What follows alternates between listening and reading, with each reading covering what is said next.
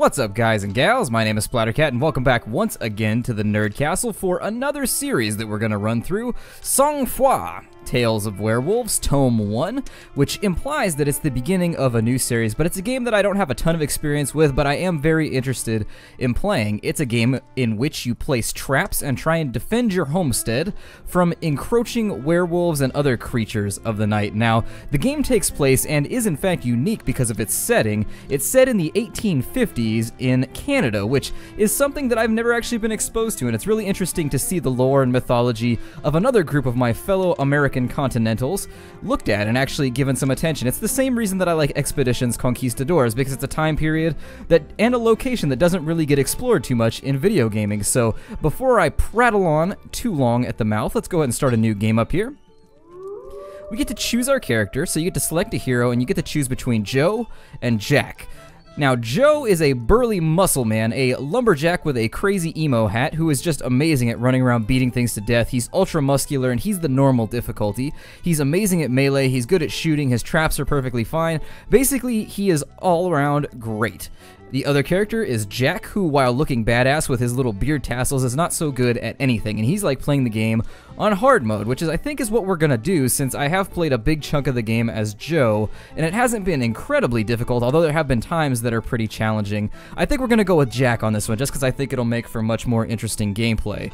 And so there we are. When you click on a character, it's gonna give you their brief background. The difference between the two characters, they're brothers, but he was a freedom fighter, Jack was, and that's basically he became a hermit after his war or whatever.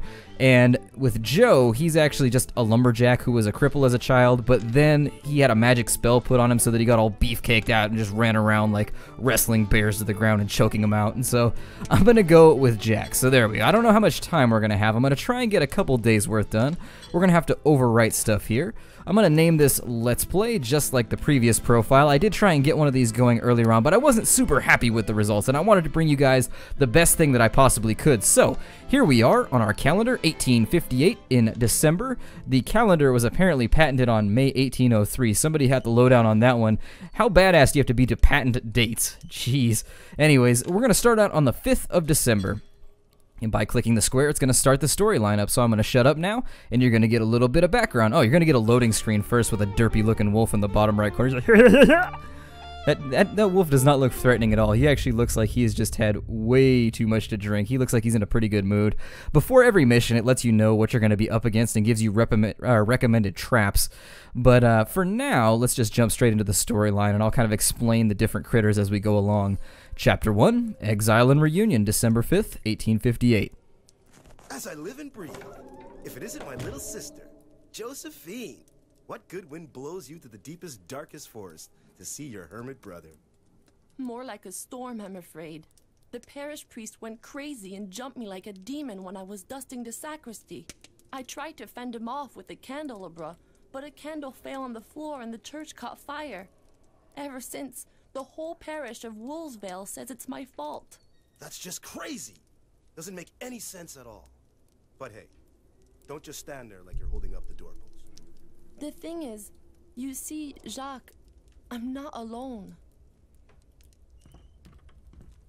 Don't worry. It wasn't my idea to come here, brother. Without Joseph to protect me, the villagers would have torn me to pieces in the village square. He can't live there anymore either. Please, Jacques, for the love of our mother, let bygones be bygones and let us both stay here with you. Did you hear that? Sounds like a wolverine's outside spooking our horses. You two make yourselves at home. I'll try to get rid of it.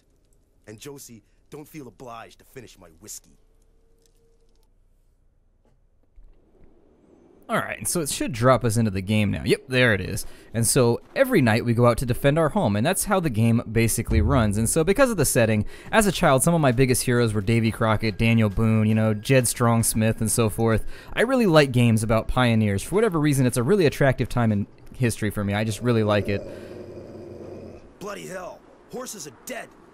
And it's gotta be a wolf, not a wolverine. The pack must not be far. Honestly, if we had a Wolverine on our hands, I might be a well. I don't know. Wolves versus Wolverines is tough. Wolverines are weird little. They're they're bad little bastards. I mean, they're not as bad as Badgers, But anyways, the game is controlled with the WASD keys. You left click to do your normal melee attack with your axe, and you right click once your axe is glowing and has like a fiery. Basically, it looks like your axe has completely and totally taken part in Bean Taco Night because the whole back end is just spewing flames everywhere. And so once that happens, you right click and it'll do a super attack. We can hold down the shift key to sprint. At the bottom center, you can see our stamina bar. When that runs out, we will be depleted for a time and we will run around like The weaklings. bridge to Wolf's Vale is burning.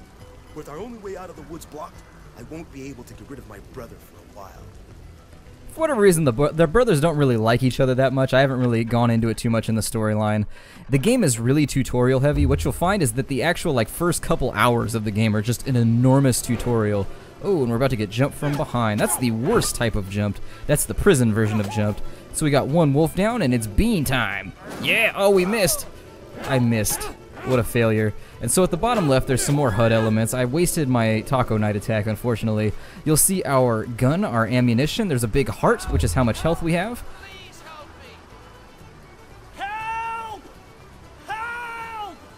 May Saint Anne have mercy on me! For the love of God, please help me! All right, let's go save Phidias. This is a time period when people had cool names. But as I was saying, in the bottom left, you can see a big heart that depletes. I don't have a clicker, so I can't show it to you. Right next to our portrait, and I'll talk about the fear meter in just a moment after we get out of this next cutscene. For now, it wants to teach us how to use our gun, and so we're going to hold down the control key and we'll use our musket. We can speed up the rate at which we load our musket and get the ramrod taken care of by right-clicking, just mashing on the right-click as quickly as possible. I nailed him right in the head, so that should be a kill. What you'll see is at the bottom left, there will be a 17 and a 20 with a wolf's head next to it. That's the fear gauge. That's how afraid of us the wolves are. As we damage wolves and kill them, you actually get a deficit between the bottom number and the top. When the top number matches the bottom, the wolves will attack you again, but it gives you a few seconds during which you can breathe. The good Lord has sent you! Without your help, I would have been devoured like a rabbit! Hard to miss you, Miller. Think they heard you all the way to Quebec City. Be careful! There's a pack of rabid wolves around here. How many? Dozens, hundreds maybe. They even blocked the road to my mill in the east. Go see by yourself if you want. As for me, I'm gonna run and hole up at the W. Hood Company. All right, so as I was saying, there will be a deficit between the top and the bottom numbers. So let's say you have 16 on top and 20 on the bottom. That means you have 4 seconds to get your stamina back and to reload your gun before the wolves will actually come at you. Before we go into this next combat, I'm going to go ahead and load my rifle. I love the fact that we have a raccoon hat. I, I'm not a fan of raccoons. They killed my dog when I was a kid. Like a pack of raccoons just jumped him and ripped his throat out, and so I've never been a fan of raccoons. They're just an animal that I absolutely just have a distaste for. I just don't like them. Don't like them at all. And so it's going to try and smash us with another tutorial there, but I'm going to veto it. No tutorials here, sir. At least not until we get to the point where I don't know what I'm doing. And headshot. Let's see if we've got enough time to reload. I doubt it, though. We've only got one second till the next attack. Yep, there it is. Got ourselves omnommed. So let's beat that wolf down real fast. And we'll give him a power attack. And that one, we've got two seconds. So you'll see it's 18 and 20. We've got two seconds, basically, until he comes at us, bro. Wolfie bro. And so we'll go ahead and knock him down. You do want to take full advantage of the third attack in your combo. It's a knockback, and that works on even big mobs. And so you do want to take advantage of that to kind of give yourself a little bit of ground if need be. It wants us to secure the Mills Bridge now, so we're going to sprint over there and take care of that. I wish I had a coat like that. That coat is pretty badass. That looks like a coat that a prominent man would wear. A prominent man with manly facial hair. So let's see what's going on over here at the bridge. Oh, another tutorial, sneak attack. And it wants us to, now we're gonna mess around with the shout command. And so what we can do is we can shout and what the shout does, and because they were out of range, it didn't work, but the shout can be used as a lure for your enemies, and additionally, it can be used to increase your fear meter and buy you a little bit of. Oh, we're tired out. I ran out of stamina, unfortunately. And let's do a little bit of damage there. Oh, and we're still taking damage. I am just not doing so well in this case. So let's see if we can take them out. Luckily, the wolves carry their lunch money around with them in their furry little pockets, and so we do get a little bit of change for taking them out, which we can spend on traps and on new equipment later on in the future. Our sister is taking up the That's my brother. long lost art of back for two levitation, so we should probably go back and check on him. get Back to the cabin as quick as I can. And so if I remember correctly, it's going to teleport us here. And so now, we, yeah, we're back at the camp. Let me go ahead and reload my rifle. Oh, I know what it's going to do right now. So at the bottom right, you'll see that we have a kind of, it's basically the same thing you would see in an MMO. It's just like a toolbar. You can press the 1 through 8 keys and it'll do different abilities. We've got some whiskey on us, and so we're going to get nice and shit-faced because it makes us enraged. It makes us deal more damage. You also see that on the right side of the screen, there's a picture of our house, and it's got a health bar underneath it. That's actually how long we have until we fail the mission. The house is what we're trying to protect. Apparently the wolves in this region have a healthy respect for engineering. They are well studied on how to take apart log cabins, and they do it quite proficiently. We can press the space bar to do a little dive roll out of the way, although I found that carefully timed sprinting tends to work a little better and cost less in the long run. Now the wolves do work in tandem sometimes and it can be a little frustrating to get an attack off. The game very clearly wants you to focus on using traps. Unfortunately at this point we don't have any so I'm just going to focus on a power attack there, hit him with the Taco Knight. From now on that's we're going to hit him with the Taco Knight. That's what we're going to name our special attack. It's going to be the Braver to our Cloud Strife and that's going to be the first mission up and out of the way. And so after every little mission, it's going to give us a sort of butcher's bill. We earn a little bit of money for each mob we kill. They speak to me. I hear them. But especially I I see. I see the beasts. They were sent by the devil. What happened? I don't know. She started shaking like a crazy person. Then she let out an awful scream and fell to the ground. I never should have let you stay here. You just bring bad luck. There was nothing I could do, I tell you. Go get Dr. Lamontagne. I don't know what happened. The bridge to Wolves Vale was burned down. We'll have to wait till morning. Alright, so since we're secluded in our house and our sister seems to be possessed by any number of evil and or beneficial spirits, we only know what's coming next. And so we're going to go down here to Derpy Wolf and click continue, and it's probably going to stick you with some more storyline. Chapter 2, Desires and Regrets, December 6th, 1858. My Lord, forgive me. I was overcome with desire. What have I done? What have I done? You're only a man, LCR. Who's there? Who are you? But you just now invited me.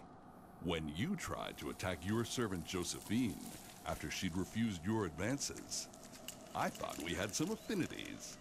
But when you let the fire spread in your church after Josephine hit you with the candelabra, when you accused her in front of all the villagers of the crime that you had in fact committed, that was when I knew we were going to do great things together. and that is what brings me here to make an offer you can't possibly refuse concerning your lovely and inaccessible servant. Why does the devil always look like he's just like playing in a ragtime band, like Blind Boy Fuller or something? Anyways, this is gonna be our first exposure. I would never trust anybody with facial hair that sinister. And our sister's floating, and the voiceover has apparently decided not to work. It just says, I see them. The beasts want to carry me back to their master, and they'll attack tonight. I feel the presence of a werewolf. And so on we go. It's going to give us another tutorial, which I'm going to fully ignore because I will explain things to you guys as we go along. And it says, now that we know where the beasts are going to attack from, we'll set traps to help us tonight. And so this map is going to be what you do during every single day period before the nightfall. We're going to take traps and we're going to place them right where the game tells us to right now because we don't really have an option. And so those are wolf traps. What wolf traps do is they basically are just your basic bear trap. When you step on them, they've got those crazy little jaw things like the heads of those things from Teenage Mutant Ninja Turtles, the little robots that ran around in the sewers and would like chomp through things. They were really hard to kill in the arcade game, but they look like the heads of those and they clip the ankle of anything that steps on them. It's exactly what it is. They do a lot of damage to certain mobs, but we have to talent them and uh, otherwise they don't really do much to the bigger mobs. And so there is a talent tree. You do get XP as you succeed. You spend money on some of these traps. They do cost AP. If you look at this bar, this right here, it decreases as we place traps. These ones we're putting down right now, or the game is forcing us to put down, are rock traps or rockfall traps, or net traps, I think is what the game calls them. Hanging nets, that's what it is. It's just a net with a bunch of rocks on it. And once the mobs are underneath it, you shoot it with your rifle and all the rocks fall on them. Now, it does distribute the damage between the mobs evenly. So if you get a bunch of really powerful mobs underneath it, this trap is completely worthless. You want to drop it on singular mobs if they're strong, and you want to drop it on a bunch of mobs if they're weak. And so it is kind of specific in its uses. So there's nothing else to do during the daytime here, so we're just going to pass it and start the evening. It's also got a little clicker for how much money we have. That'll play into some of the more advanced tactics later on. You get traps that are really powerful, but they start to cost a little bit of cash. And so out we sally in order to face our foes with our crazy woodsman's axe. We're kind of getting some ridiculous fairy tale action going on here coming out. Well, I guess it, I it makes sense. That's how we got rid of the big bad wolf, right? Just gutted him with an axe. Now, before the animals show up, you do have about eight seconds or so to set yourself up in a position that is advantageous. That wolf's going to eat a trap. That wolf's going to eat a trap and then we're to get a little bit of leeway. Well, one second anyways. I do really like the soundtrack of this game. I'm a big fan of American folk music and also like Irish folk music because I do have an Irish side of my family. And so I've always enjoyed things like the Wolfe Tones and things of that nature, flogging Molly and so forth. And just all manner, the Dubliners, things like that. And so the music of this game I find to be really attractive, even though this comes from a French Canadian background, I believe, but still, it's got lots of violins and things. It's all very chipper. It makes me want to do the dance of my people.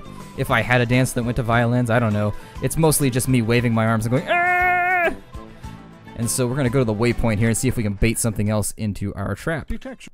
Oh, yes, okay. And so what we can do is we can lure things under our net with our shout. So if I shout, you'll see that it places that red mark on the ground.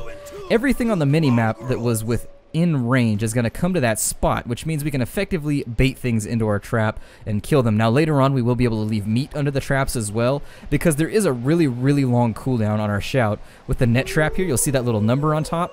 That's how many mobs are underneath it and how many are going to be damaged by it. That worked out pretty well in our favor, and so let's go back and see if we can set this up for the other mob. And so we've got ourselves a Taco Knight all charged up. And there are other attacks. You can actually charge up multiple levels of this once you get further in and gain some levels. You can actually get like three or four stacks of your rage and do different attacks. Now we have a big guy coming in, a werewolf, and you can see him on the mini-map in the top left. He's the yellow dot. The red spotted ring that's around our character is the range at which our shout will work, and the green ring around our little character there is going to be the sight range that things can see us at. Now later on, we are going to have to deal with our smell too. Apparently, we have quite a poignant smell, or a quite a, I guess we have quite an aroma. We have quite a piquant smell, I guess, that just kind of flies out about our pits, and it alerts the wolves to our presence, and we'll have to be careful about that later. Oh, let me bait this guy. Hold on. There we go. And I'm about to sprint out of range real fast. And so as soon as he's underneath there, and you'll see he's a werewolf, so that actually didn't affect him that much. And he's going to come straight after us. The nice thing about those is you can knock them back with your axe, and they're worth a ton of cash too. 30 cents back then was no slouch. That was a stack of guap back in the 1800s, so there it is. That's level 2 that we've knocked out. I don't know if we're going to have time for a level 3. I don't really know how long that's going to run. We'll look at our butcher's bill here. We got ourselves a good, oh, 65 XP or so. And 66 cents for our troubles. Not a bad day's wage for that time period. We've also leveled up and hit level 2. We've got the Stamp of Success with the crazy Calligraphy S, because everybody knows that when you use calligraphy, you're either a vampire or you've done very, very well. And so let's click continue and be on our way.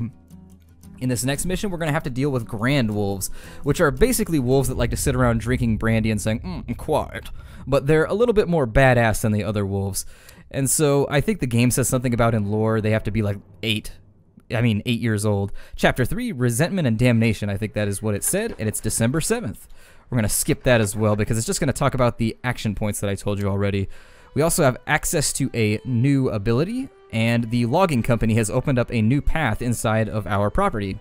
And so the game does have hints, and it's actually kind of sideways about it, and I'll explain that. It's just like Devil May Cry, like if you suck too much at the game, the game will actually tell you you suck. And so like this little thing will pop up and be like, do you want some help, buddy? And for me, I was just insulted by it the first time I saw it. I was like, no, I can do it myself. And then I flipped my apple juice all over the table. But anyways, this level we have to deal with two waves. And so what we're going to do is we are going to see these cards. These are going to tell us how many mobs are coming and from where. They also tell us here in the corner what wave they're part of, and here in this corner they tell us what location they're going to. This one is going to the chicken coop. This one is going to the house. And so what we're going to do is if you click on them, it'll actually show you the path, which is pretty sweet. I think what I'm going to let these do is I'm just going to let them charge the chicken coop over here, and we'll see how that goes. And then we're going to deal with this guy down here. Now, this guy is going to be dealt with with a simple net trap, I think. And so we'll throw a net trap right there. You can zoom in a little bit just to make sure the positioning is correct. The net trap has to be connected on all four sides by rope. It's a little bit, it can be finicky at times. Your traps also don't hold like they don't hold over in between levels, which is a little annoying because they do cost you action points. Some of them cost you money. I do wish they stayed in place until you actually had a chance to use them. There's not a whole lot of room for improvisation in the game, but you can try. I mean, you can go for it. I think I'm just gonna let them do their thing because honestly, I just I don't see them doing that much damage to the chicken farm. So if we want to see what's coming with wave 2, we'll click over here and it looks like we've got five wolves that are all going towards the house. Now we have access to a new trap. It's called the bonfire. We can place it and what the bonfire does is it makes it so our fear meter is constantly overcharged. It makes it so nothing can come inside the radius of the fire as long as it's a wolf. So anything that's afraid of the wolves won't come inside here. The other thing we might consider doing is setting ourselves up Yikes, if I could pull this off, it would be pretty sweet, but I just don't see it working. So I think what I'll do is I'll just go for the for the bonfire here, and we can light this when we run up to it by hitting the E key. And we'll just deal with all these wolves. We do have some grand wolves, which is a little unfortunate, but as long as this fire is in place, they shouldn't bother us too much. On later days, we'll be able to spend this AP if we don't spend it on traps, and so that's why I'm so conservative with my AP at the time being because it's practice for the future. And so with those limited traps, I think we'll be okay. So let's start the night. And we can't go to town yet. Before we go out, it's going to give us the opportunity to go through our inventory. We have a little bit of, I think this is whiskey. Let's see here. Get rid of all those. It's eau de vie. I don't know how to say that, so I probably butchered that, but it's alcohol. It's, oh yeah, you distill blueberries. That actually sounds pretty amazing. It burns the throat of the heaviest drinkers, but it gives us all our health back. We've also got a talent point to spend, so we're going to do that down here.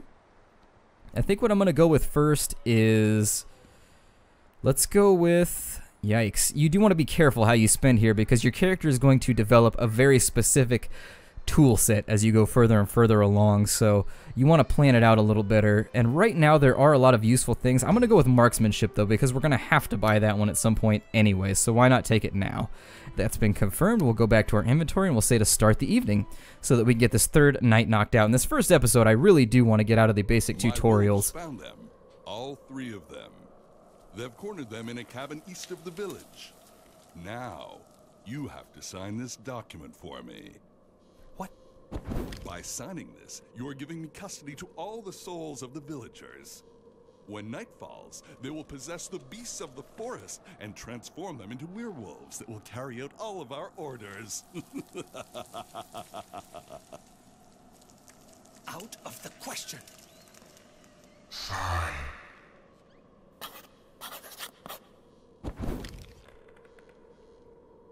signed under duress. I will never consent to your vile demands. Quiet, you whiner, and think of the pleasures you'll enjoy when our werewolves bring you back to the woman you desire. Also, how would you like to be appointed a cardinal in Rome? Rome? You said Rome? That is my fondest dream. There is a there is a vague point to be raised here. How did the priest come to control the souls like legally? Like I think a lawyer could make a good case here that he doesn't really own all the souls that he just gave away. But let's get ourselves into position. And it's also interesting that they said werewolves, which could, are completely different than their wolves or our wolves. It's werewolves. What are you? Werewolves. But let's bait this first werewolf. We'll bait him in. And he's going to run underneath our net. We're going to slaughter him. And then we'll go deal with the other wolves, which I think should come running the second they hear this gunshot. We'll see what happens here. Did they hear it? Oh, they didn't. But we should be able to gut him fairly quickly. And down he goes. Give me yo 30 cents. It's like wifing in the club. But give me 30 cents instead of give me $20. Now we'll run up over here. And they're going to do a little bit of damage to our chicken coop, but it's okay. Chicken coops aren't that vast or well put together, so it should be fine. We've been spotted, and so I'm actually going to see if I can bum rush one of these first before the other one shows up. And we did, and so we've got a taco night all charged up. And the second they get close enough, "Uh, taco night! Hoo-yah!" You have to yell Taco Night when you do it. It's all part of the plan. And so that's the first wave down. The second wave, now at any time during this little charge period, we can press the tab key and take a look and kind of gather ourselves for the plan ahead. That's right, I think we were just going to regroup around the bonfire there. We're going to have ourselves a merry campfire and just ignore the wolfy death that awaits us outside its borders. And so that should give us the opportunity to take some pot shots at the wolves since they can't actually physically come within range of the fire. And so I think I can get a reload off before they actually... No, I can't. Never mind. We'll light the fire. And there it goes. And so they should back off now. And you'll see down at the bottom we've got about 15 seconds to play with. And so I'm going to see how many of them I can wheedle off here. Down he goes. That was a headshot. Eh, it said it was a headshot and it still didn't kill him. I'm going to focus on the stronger wolves first because I just don't want them around. Unfortunately, because they're great wolves, they're really, really good at their wolfy duties. We actually can't kill them with normal bullets. You need silver bullets. Or, in the worst case scenario, you can get yourself some of the super sweet blessed bullets from the priests in town.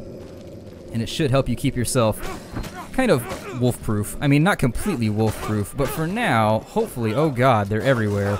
And we may end up getting consumed here. This is not looking so good it may have been in my best interest to plan a little better. Let's see what we can do. Oh, I don't have my shout yet. So we'll take him out. Oh, God. All right, I'm gonna drink my alcohol here. Get myself nice and skunked so that I can't feel what's going on. You're not being consumed by wolves. You're just really, really drunk. Go to sleep, Jack. You're drunk. And actually, Jack is a lot more fragile. This is my first time playing as Jack, and I can tell you he is quite fragile by comparison to Joe, who seems to have a lot more HP. I can tell we're definitely going to have to rely much, much more on our traps with this guy, so I'll take that into account for further levels because that did not go according to plan at all. Yikes. Alright, but we do get to pose after every mission because the pose you take after you beat the hell out of a bunch of werewolves is equally important. I mean, look at this guy. This is a man who is resolved. He has res he has a complete and total resolution for what's about to happen. We've leveled up again. We've earned ourselves what looks like 92 cents.